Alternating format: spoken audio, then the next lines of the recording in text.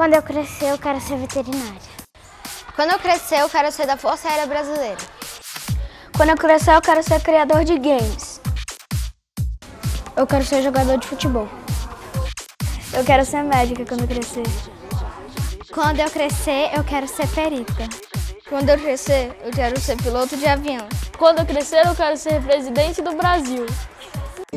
Desde pequena, eu gostava da mesma coisa. Aprendi a tocar violão com 12 anos. E com 14, minha mãe me deu minha primeira viola.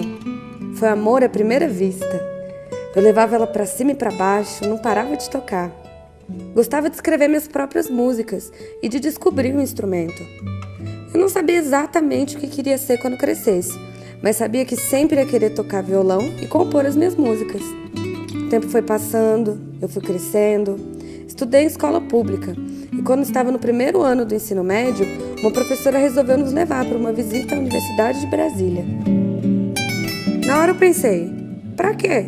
Nunca vou estudar lá mesmo, mas mesmo assim eu fui. A gente deu uma volta, entramos em lugares muito esquisitos para mim, aqueles prédios estranhos, sempre cheios de gente, até que a gente chegou no Instituto de Artes e de repente eu vi. Eram meninos e meninas, cada um com seu instrumento, tocando. De repente eu percebi, era aquilo que eu queria ser. Queria estudar violão e tocar onde eu quisesse. E para isso, eu estudei até o fim do ensino médio com essa meta: iria estudar na UNB. E depois de muito estudo e do resultado do vestibular, eu finalmente passei. E todo dia que eu chego na UNB eu aprendo algo novo.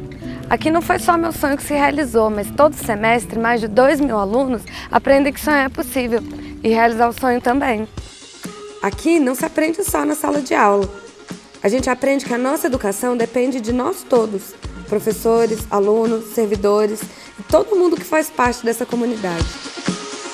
Aqui, toda pesquisa tem o objetivo de facilitar a vida de nossas comunidades, e não só no plano piloto.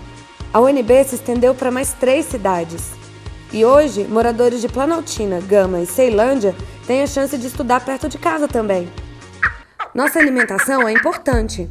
O restaurante universitário também oferece comida vegetariana especial para pessoas com problemas de diabetes e hipertensão. Fora da sala de aula, podemos também treinar o corpo e a mente.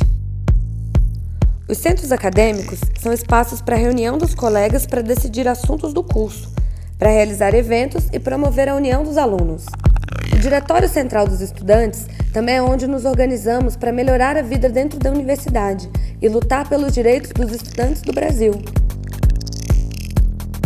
Nossa biblioteca é um espaço para estudar, ler e aprender. E nosso acervo é gigantesco. As saídas de campo acontecem em diversos cursos. A intenção é de que a gente possa entender e ver de perto o que estudamos. A UNB também tem festivais de música e campeonatos de esporte, para valorizar a prática e unir cada vez mais os alunos.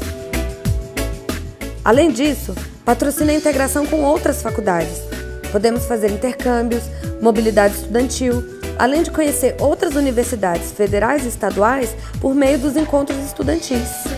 Também é oferecida assistência para estudantes de baixa renda. O Vale Transporte e o preço mais baixo nas refeições é parte disso. A UNB é mais que uma universidade. Ela é feita de todos nós e é aberta a todos. Aqui, nossa futura profissão vira nossa vida. E você, tá esperando o que para fazer parte desse mundo? Vem com a gente!